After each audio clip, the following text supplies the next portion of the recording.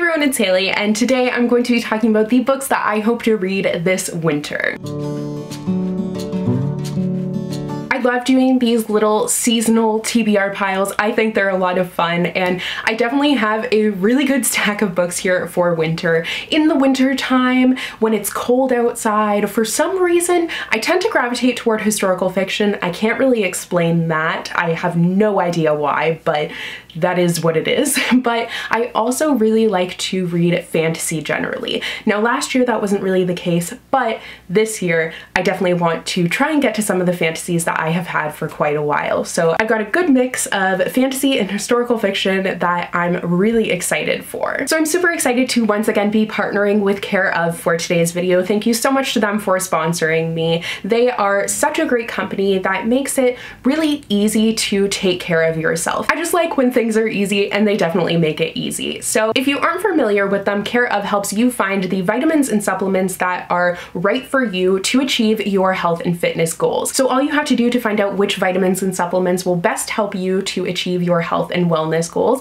is just take a short online quiz. It's basically like having a one-on-one -on -one consultation with a nutritionist. So they ask you more about your diet, your personal health goals, and your lifestyle, like all the things that they need to know in order to make this tailored plan for you where they will make recommendations for vitamins and supplements accordingly. They also have an eco-friendly mindset because all of their vitamin packs are compostable, which is so great. My own health and wellness is definitely something that has been in the forefront of my mind this January. I've really been working on making that a priority because I haven't before, but it's definitely something that going forward I want to improve upon. So I got the vitamin packs, which I love the fact that it's like the packaging for this is beautiful. Not only is it compostable, but it just is so easy to like just get it out of the slot every day and it's all packed nicely. I absolutely love it. It's so easy to take in the morning, but I got fish oil, which is to help maintain a healthy heart,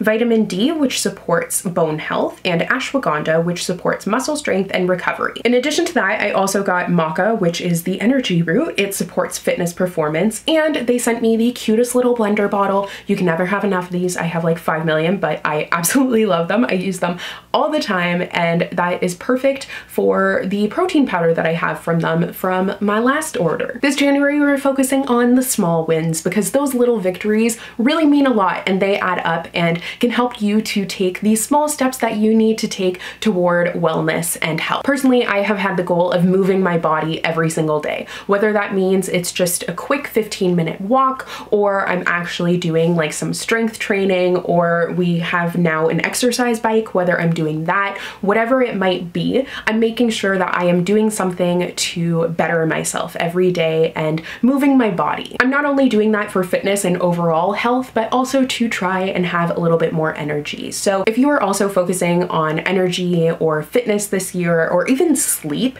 then adding a daily vitamin that targets those goals can help you to make those long-term changes. I will have a link down below for you guys to take the Care/of quiz and see what vitamins or supplements they might recommend to you guys. So don't forget to click the link down below and you can use my code BOOKLAND50 for 50% off of your first month. And thank you so much to Care/of for sponsoring today's video. I'm gonna be honest, there's really no formal organization for today's video. Sometimes I'll like organize it by genre, but I just decided not to do that today. But I will start out with the two books that I am currently reading. So first is Invictus by Ryan Graudin.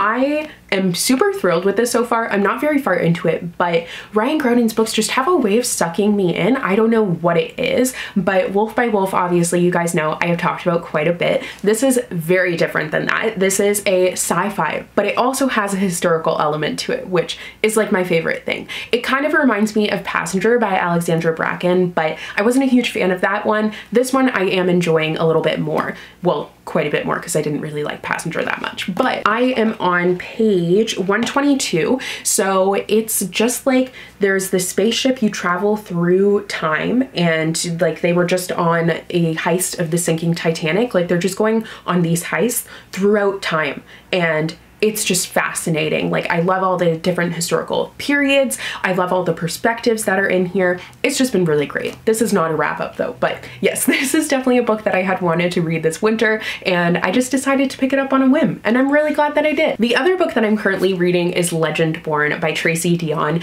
This is taking me longer than I would like it to, to be honest. My bookmark is not in an accurate spot, but I am listening to the audiobook for this one. And I think I just haven't had a lot of listening time lately, but this is definitely like a mix of like City of Bones. I mean, it's not even a mix of City of Bones. It's kind of like City of Bones in the fact that it's an urban fantasy, demons, all of that stuff. So the main character, she is grieving the loss of her mother and she is going to this university. She is a high school student, but there is this stay away program. So she is taking that. And on her first night there, she ends up witnessing a magical attack and she just gets caught up in this whole world like Merlin, Arthur, King Arthur, all of those things. So it's definitely a very interesting magic system. I am enjoying it. I just haven't had a ton of time to dedicate to listening to it. So those are the books that I am currently reading, but just getting to the rest of the pile. First we have The Passion of Dolssa by Julie Berry.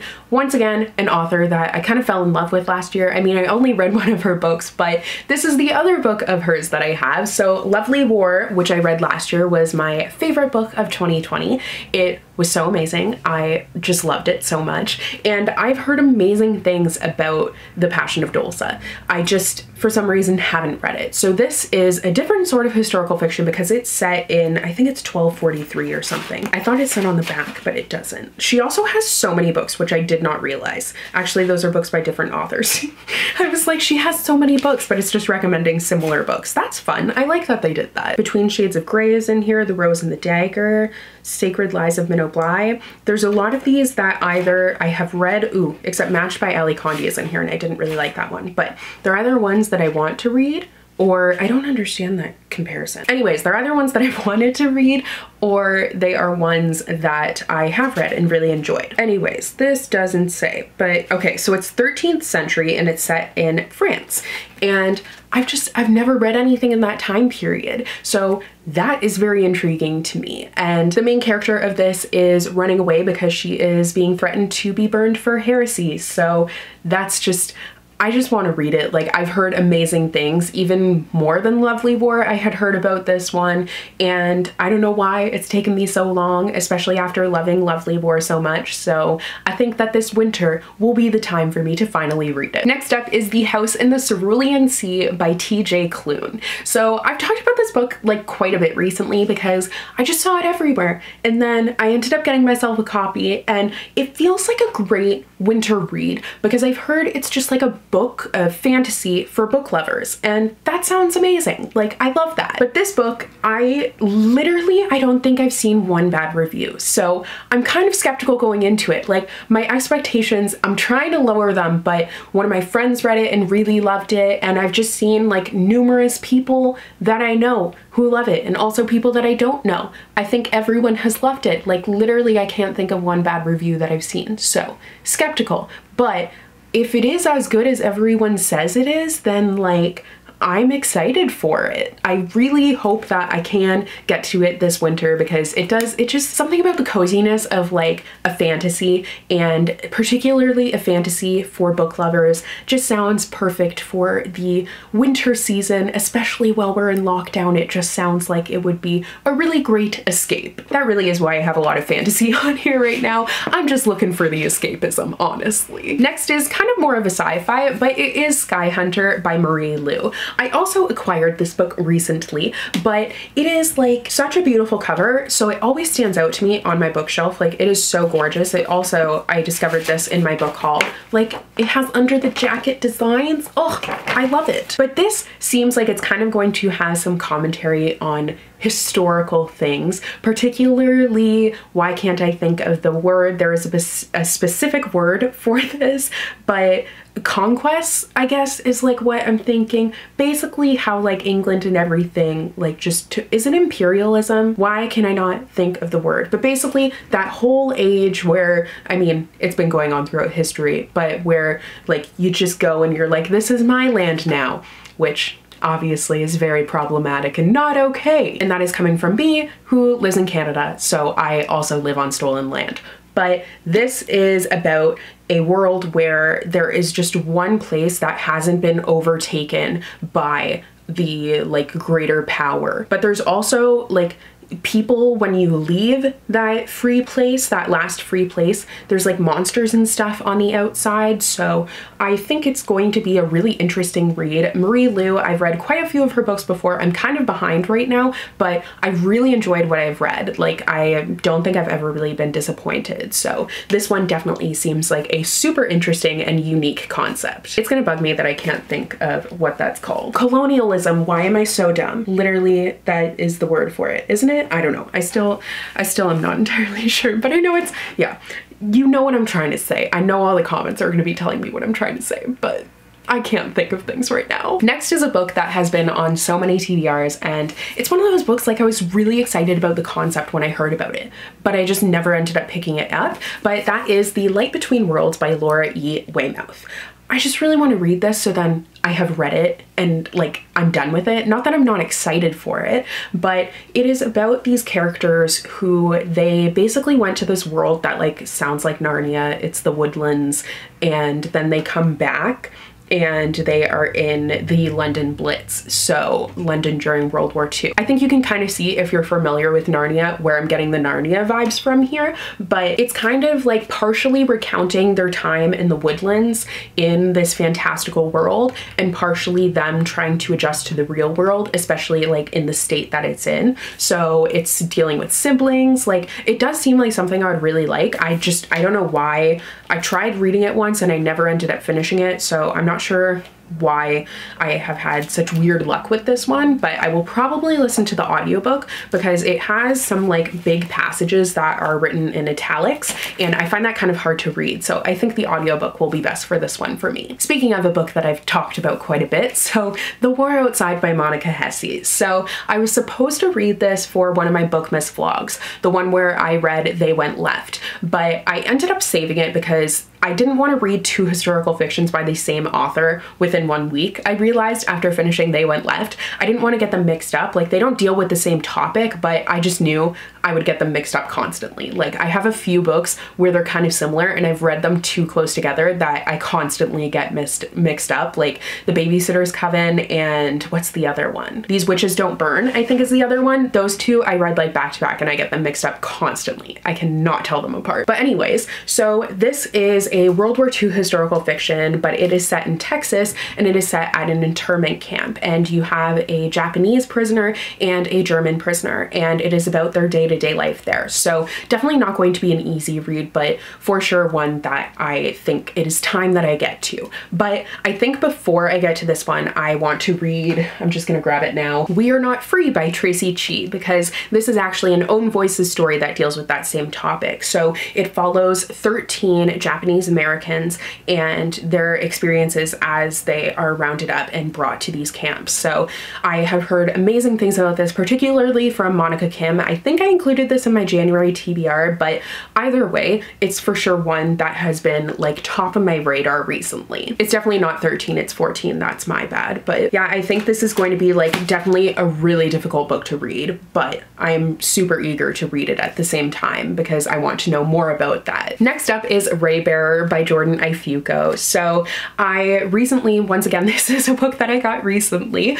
but it's about this character who just wants, like, she hasn't really experienced love or familial love. She has this woman who is her mother, but she's known as the lady, but she's mostly absent, except there's this opportunity to get closer to the prince, and the lady wants to use this to have her kill the prince. Like, it's a plot.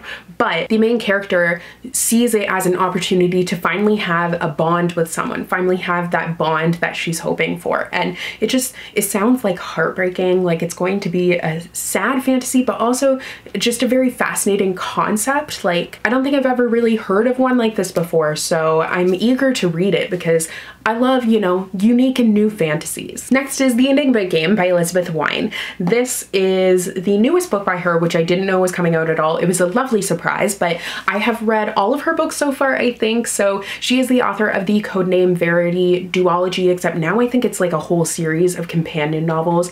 It confuses me. However, I I love Codename Verity and Rose Under Fire. Those two books are fantastic historical fictions. She mostly focuses on pilots, which is super interesting, but in this case, it's dealing with this machine. It's like this machine that a British officer risks his life to hide it. No, it's a German officer actually. Yes, so it's a German pilot who ends up getting this machine, which is an Enigma machine, and it will allow British intelligence to translate German messages. So he ends up risking his life to bring it to Britain.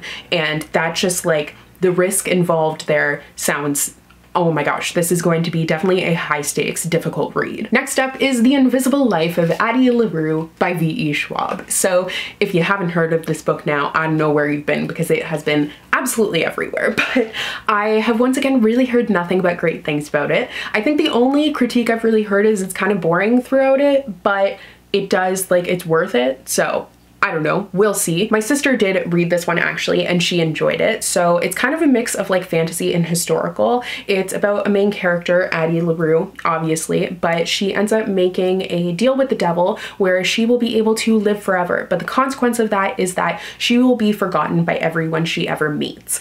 That like, I just, literally I say this every time I talk about this book, but how would you write that? Like, it just exhausts me to even think about it. So super eager to see how that ends up playing out. Like, I just am so intrigued by this book, honestly. Next is A Song of Wraiths and Ruin by Rosanne A. Brown. So this sounds super intriguing because it is about a character who he has the job of killing the crown princess in order to get freedom for him and his sisters. He's finally able to leave his war-torn home, but the princess is not going to go down so easily because she actually has plans to resurrect her mother from the dead. So there's a lot going on here but there's so much potential for a really cool and interesting story. Definitely an interesting dynamic there between these two characters. So I just want to see how that's going to play out. Next is The Black Kids by Christina Hammonds Reed. So this is a historical fiction set in 1991 and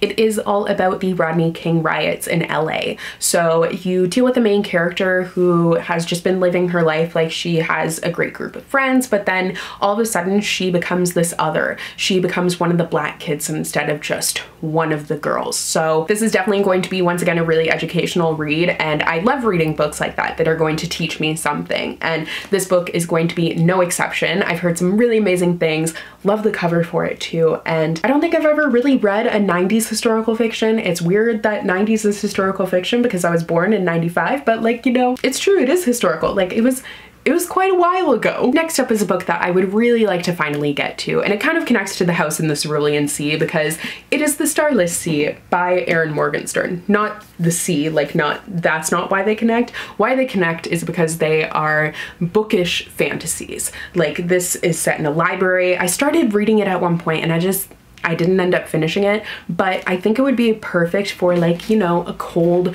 winter's day. It's just so big that it intimidates me. Like how many pages is this thing? I mean, it's only like 500 pages, but the font is just so small and it's like so tall. I think that's why I haven't really gotten to it yet. But I, once again, a book that I have heard some incredible things about. So I hope that I can join in on that hype. And finally is Orphan Monster Spy by Matt Killeen. I've had this book for a hot second now and I've always really wanted to read it, just for some reason haven't picked it up yet, but it is about a Jewish girl who risks her life infiltrating a Nazi boarding school. So I just, I know that this is going to be super hard to read and definitely one where I'm going to be on the edge of my seat. So when I'm in the mood for something like that, I will definitely be picking this one up. So those are the books that I'm hoping to read this winter over the cold months that are going to be covered in snow.